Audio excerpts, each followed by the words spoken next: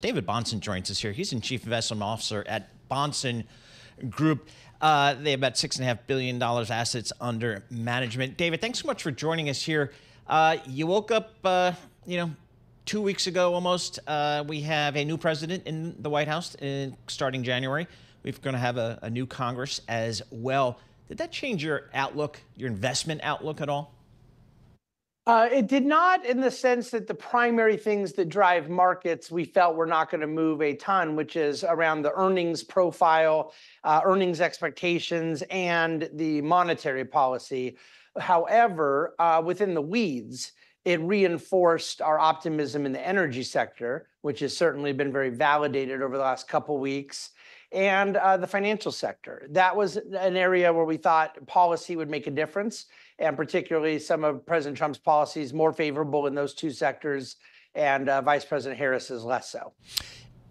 From the earnings perspective, you mentioned earnings um, obviously driving stocks here. We're just kind of finishing up with some of the retailers uh, this week.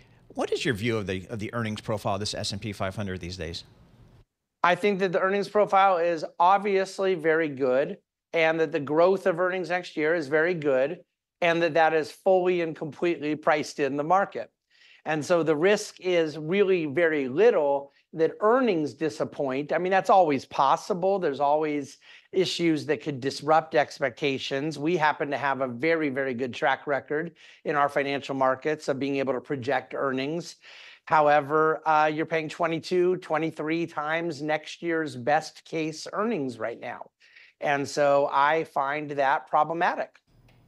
So, where else would you go then if that feels too expensive?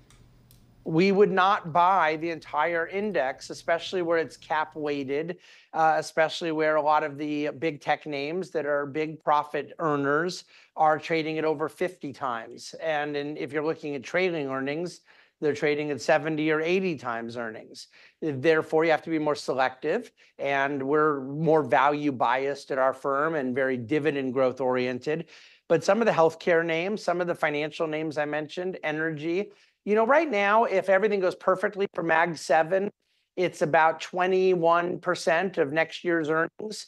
It's 33% of the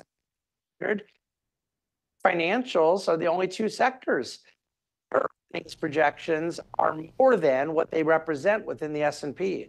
So we just recommend people be more bottom up right now. All right. So within, let's say, uh, energy, for example, where in the energy space are you seeing opportunities?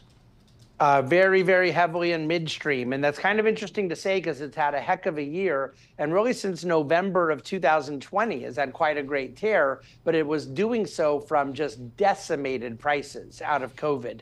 Now, not only have the pricing environment and the psychology and investor sentiment got better, but the fundamentals are dramatically better way less debt, way less leverage, way more cash flow coverage. And certainly, right now, a policy you can see from the new Secretary of Energy coming in the Secretary of Interior.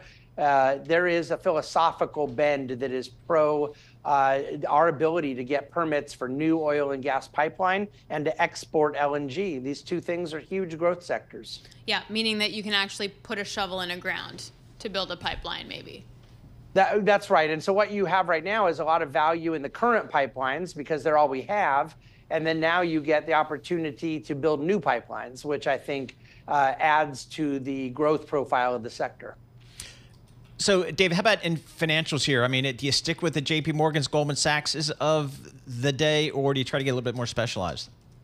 Well, so we own JP Morgan and have owned it since March of 2009, and it's one of the most profitable oh. investments we've ever made. And we uh, have had to tick down our weighting a little bit because it has just done so well, but we're not abandoning it. They're the cream of the crop, and there isn't another big bank we want to own. We also, own, as far as big commercial banks, Morgan Stanley is the name we own, not Goldman Sachs. Uh, they're actually both fantastic companies, great brands, great franchises. It's just the dividend growth. We think Ted Pick, the new CEO at Morgan Stanley, I joke he's the person in America mo- second most passionate about dividend growth, I, I, with myself being first.